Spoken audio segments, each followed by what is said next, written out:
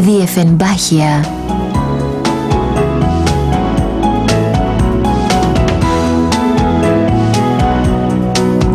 Ιθαγενές φυτό της Βραζιλίας.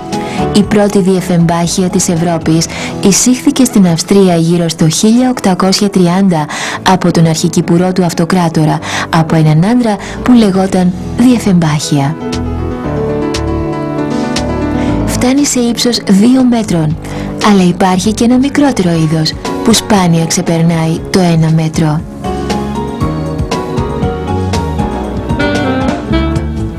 Τα φύλλα συνήθως έχουν διάφορες αποχρώσεις του πράσινου, αλλά μπορεί να περιέχουν και άσπρο χρώμα ή κρέμ.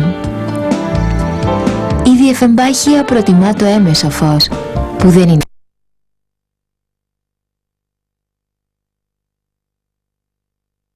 πιο σκούρα φύλλα αντέχουν στα μισοσκιερά μέρη.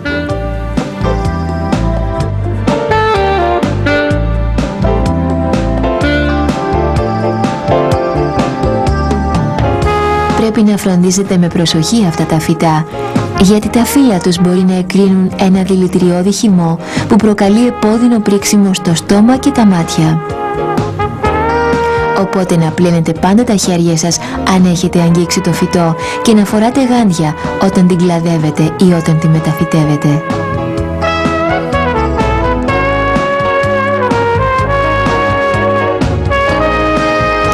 φυτά εσωτερικού χώρου χρειάζονται λίπασμα κάθε άνοιξη και καλοκαίρι. Μπορείτε να χρησιμοποιείτε οποιοδήποτε λίπασμα που είναι κατάλληλο για πράσινα φυτά και να το αραιώνετε σύμφωνα με τις οδηγίες της συσκευασίας. Να ρίχνετε λίπασμα μία φορά το μήνα ή δύο φορές αν χρειάζεται. Προσθέτετε το λίπασμα στο νερό που τους δίνετε. Αυτό το υγρό λίπασμα θα παράσχει στα φυτά άζωτο, φόσφορο και κάλιο, καθώς και όλα τα ιχνοστοιχεία που χρειάζονται για μια υγιή ανάπτυξη.